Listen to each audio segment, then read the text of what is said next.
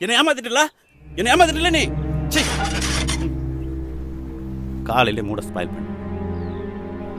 என்னமாச்சு எதுக்கு அப்பா கோவமா போறாரு? எப்பயும் போல தாண்டா அவர் ஆரம்பிச்சிட்டாரு. மார்னிங்கே பிரியாணி கேக்குறாருடா.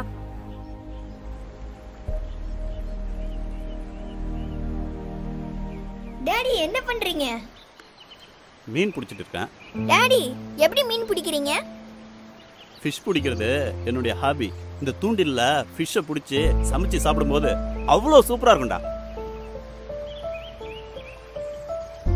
இதாண்டா தூண்டில்.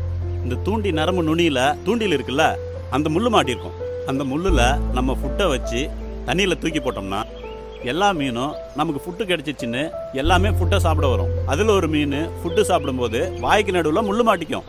சோ சிம்பிள் மீன் மாட்டிக்கிச்சு. இதான் ஹாபி நீ வேணா ட்ரை பண்ணி பாரு டாடி எவ்வளவு பெரிய துரோகம் பண்றீங்க பாருங்க. நான் என்ன பண்ணேன்? அந்த மீனுக்கு ஃபுட் போடுற மாதிரி போட்டு அதுக்கு ஆசை காட்டி அது தூண்டில் உள்ள மாட்டி உயிருக்கு போராடிட்டு இருக்குன்னு உனக்கு தெரிஞ்சும் அதை சித்திரவதை செஞ்சு அதை கொன்னு நீ ஹாப்பியா சாப்பிட போறல ஏன்டா இவ்வளோ கோவப்படுற? நான் அப்படிதான் கோவப்படுவேன். காலையில மம்மி டிஃபன் மாத்தி செஞ்சதுக்கு நீ அப்படி கோவப்பட்ட? என்னை ஏமாத்திட்டேன்னு வேற சொன்னீங்க. ஜஸ்ட் ஒரு ஃபுட்டுக்கு டேடி நான் ஒன்று சொல்லட்டுமா?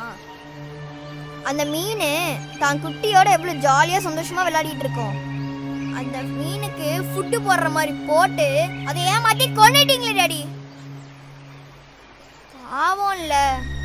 அதெல்லாம் எனக்கு தெரியும். நீ அட்வைஸ் பண்ற அளவுக்கு நீ ஒன்றும் பெரிய ஆள் இல்ல. நீ சின்ன பையன். உனக்கு ஒன்றும் தெரியாது. மீன் பிடிக்கிறது மட்டும் வேடிக்கை பாரு.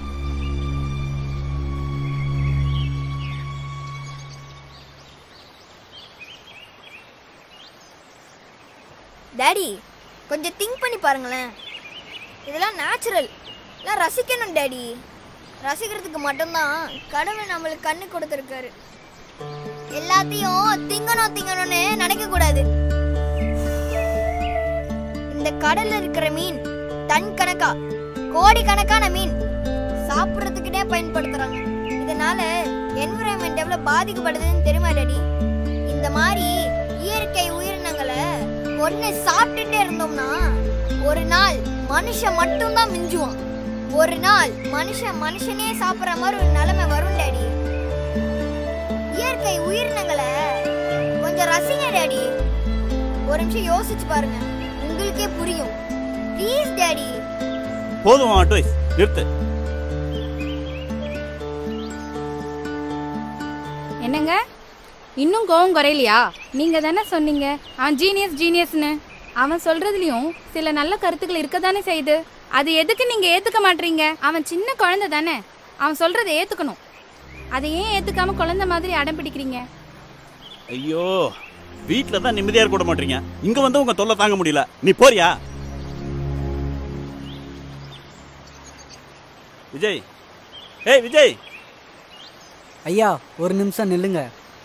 உங்கள் மகனுக்கு என்ன ஒரு ஆழ்ந்த அறிவு இந்த சிறுவயதில்? எவ்வளவு அறிவுபூர்வமான உண்மையெல்லாம் சொல்கிறான். இந்த உலகத்தில் தான் தான் அறிவாளி என்று நினைப்பவன் ஒருபோதும் மாறமாட்டான். தன் தவறை உணர்ந்து யார் சரி செய்கிறானோ அவன்தான் சிறந்த அறிவாளியாக இருப்பான். மாற்றங்கள் நல்லதாக இருந்தால் நிச்சயம் மாறித்தான் ஆக வேண்டும். சிறிதளவு சிந்தித்து பாருங்கள். நீங்கள் மாறுவதும் மாறாமல் இருப்பதும் உங்கள் விருப்பம். Vijay.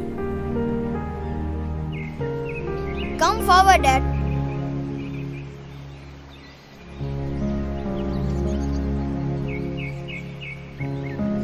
dot என் மேல கோவமா. இல்லடா.